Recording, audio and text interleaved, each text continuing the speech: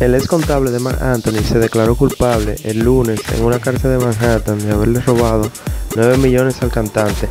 Según publicó People en español, Kylie Tessiero admitió en corte que entre los años 2009 al 2017 utilizó una tarjeta de crédito del intérprete de Vivir mi vida.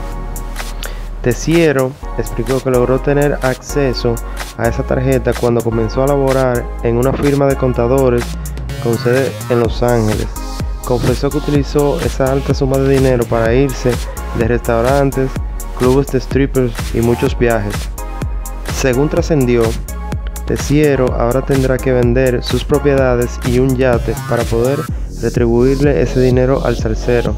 El robo, publicado por pay6.com, fue descubierto en octubre pasado tras una auditoría interna que reveló actividades raras en la tarjeta de crédito del cantante y cuando le cuestionaron al contable, este comenzó los hechos.